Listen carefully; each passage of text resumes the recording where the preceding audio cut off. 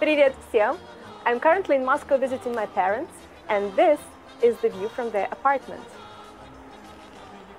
But let us now shortly focus on that curious group.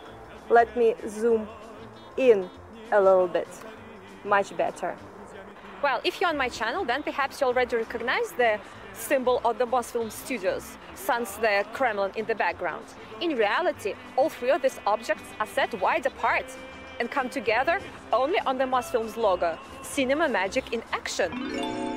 The statue is 24 and a half meters high, is named the worker and the kolkhoz woman, and became the symbol of the largest film studio in the USSR in 1949. But it was actually made in 1937 by Vera Mukhina to serve as a crowning feature of the USSR pavilion at the World Fair in Paris.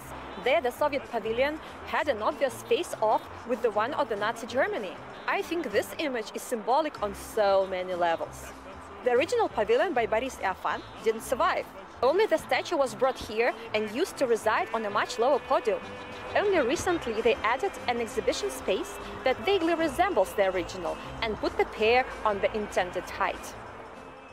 And now I will switch the architect's mode full on and point out two more pavilions behind this one. This is the territory of the VDNKh, which in Soviet times used to be something like a world expo, but for internal use, a showcase of Soviet Republic's best achievements. And nowadays it is something between an ethno park and an amusement park, and a nice place to check out if you ever visit Moscow.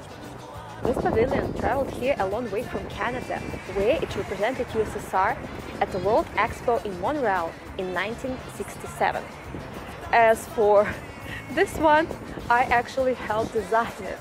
I cannot say I'm proud of it, I think it's rather ugly, but I was an intern and had to do what I was told and I worked on its facade, side plan and cross sections. More curiosities on the other side of the Avenue of Peace and yes, it's a Swiss jeepney. Just let's zoom in a little bit. These two buildings make quite a contrast. Why being built just 10 years apart from one another? This one is an example of the late Stalin's empire style, while this one implemented the modernistic ideas of Le Corbusier and cutting-edge technologies. We call it house on legs. Okay, now architect mode off and let's get back to movie stuff. And the next cinematic hotspot is right around the corner. Firstly, the street bears the name of Sergei Eisenstein, the famous director of the Battleship Potemkin movie and many others, the visionary father of the modern cinema. Secondly, the street houses another famous film studio, named after the writer Maxim Gorky. Funny how it is much older and closer to the statue, yet others use it as their logo. The Gorky studio used to produce films exclusively for younger audiences, but have diversified since then. By the way, the studio also has an official YouTube channel with lots of free content. I'll link it in the description.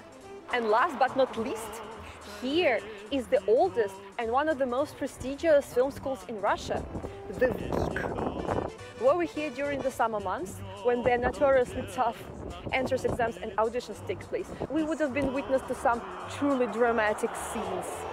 But now the few lucky ones are safely in and the autumn semester is in full swing. And here we can meet some of VGIK's famous graduates. This is Andrei Tarkovsky, whose name must be familiar for any cinema lover.